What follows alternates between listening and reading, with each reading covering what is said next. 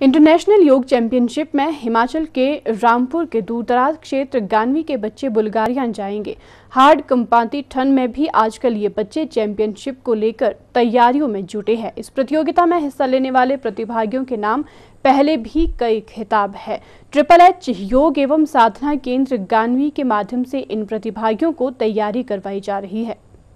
हिमाचल प्रदेश के शिमला ज़िले के दूर दराज पंद्रह बीस गानवी क्षेत्र के दो योगी इन दिनों अंतर्राष्ट्रीय योग प्रतियोगिता के लिए अभ्यास में जुटे हैं। ट्रिपल एच योग एवं साधना केंद्र गानवी के योग शिक्षक रंजीत सिंह दोनों प्रतिभागियों को योग की बारीकी से टिप्स दे रहे हैं। ट्रिपल एच योग केंद्र के चौथे स्थापना दिवस के अवसर पर गानवी में योगियों ने योग के माध्यम से कर्तव्य दिखाए।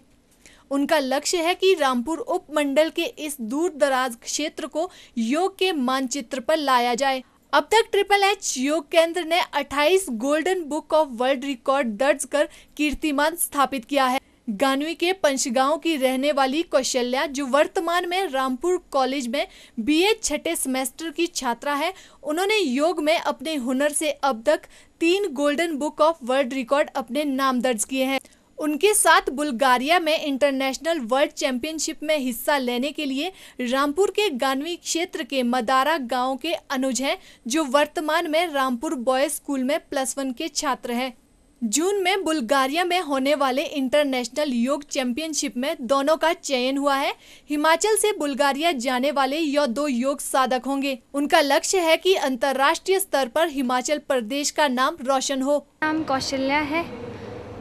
और आज यहाँ पे विश्व कीर्तिमान योग गाँव घानी में आज ट्रिपल एच योग समिति का स्थापना दिवस था। इस उपलक्ष्य में हमने यहाँ पे योग की प्रदर्शनी भी दी और हम आगे के लिए भी तैयारियाँ कर रहे हैं, क्योंकि हमारा चयन जो है बुल्गारिया के लिए हुआ है, जहाँ पे वर्ल्ड योगा चैम्पियनशिप होने जा रही है, उसके लिए हम तैयारियाँ कर रहे हैं। मेरा नाम अनुज, मैं यहाँ गानी से हूँ।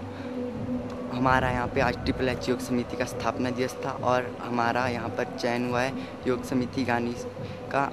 हम दो बच्चों का कौशल्या दिया और मेरा, बाहर बुल्गारिया के लिए हमें वहाँ पर अपना प्रोग्राम दिखाना है और विश्व और वहाँ पर फ़र्स्ट आना है। हम पूरी कोशिश करेंगे। सिटी चैनल के लिए रामपुर से विशेषण नेगी की रिपोर्ट।